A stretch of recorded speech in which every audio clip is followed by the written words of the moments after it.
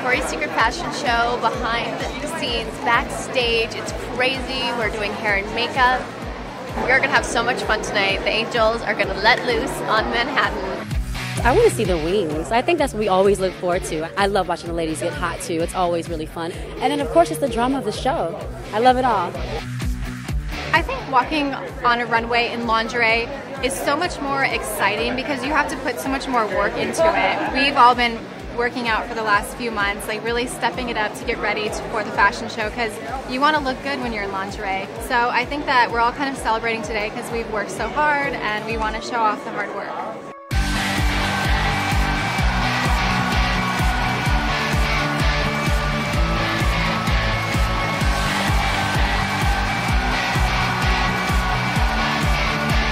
I mean, that was awesome, insane.